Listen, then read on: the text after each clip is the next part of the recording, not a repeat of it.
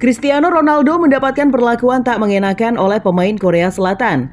Melihat hal tersebut, Pepe dan Dalot pun tak terima. Nah, penasaran dengan yang dilakukan Pepe dan Dalot? Langsung aja yuk tonton videonya sampai habis.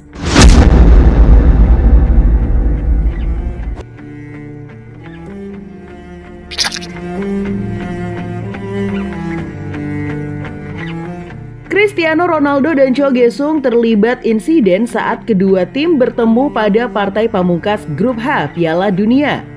Keributan sempat terjadi saat Ronaldo berjalan keluar lapangan. Ia menunjukkan gestur tutup mulut ke arah pemain Korea Selatan Cho Gesung.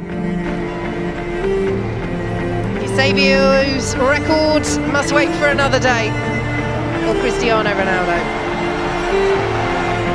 So the three players coming on, Silva, Leo and.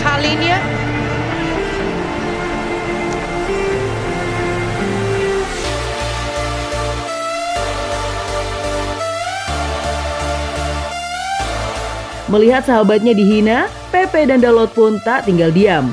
Mereka berdua langsung mendekati pemain Korea Selatan tersebut. Pepe bahkan mendorongnya guna memberikan pelajaran. Rekan Son Hyung Min tersebut nampaknya perlu diberi pelajaran agar tak kurang ajar pada seorang bintang.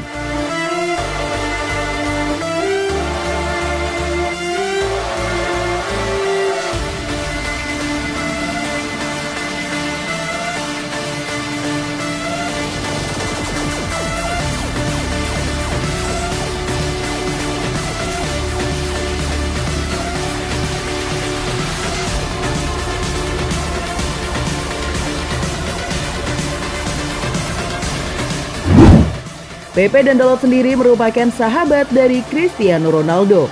Mereka berdua dikenal dekat di dalam lapangan maupun di luar lapangan. Maka tak heran jika keduanya akan membela mati-matian jika ada yang mengganggu Cristiano Ronaldo.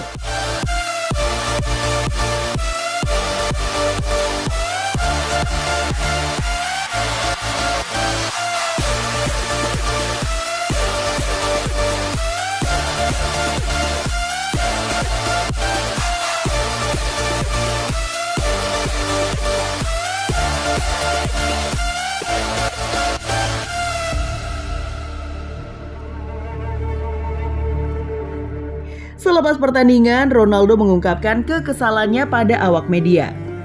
Sebelum saya diganti, salah satu pemain Korea Selatan meminta saya untuk segera pergi. Saya memintanya untuk diam. Dia tidak punya wewenang, dia tidak perlu mengatakan apa pun. Tutur Ronaldo. Eusebio's record must wait for another day. For Cristiano Ronaldo. So the three players coming on, Silva, Leo and Paulinho.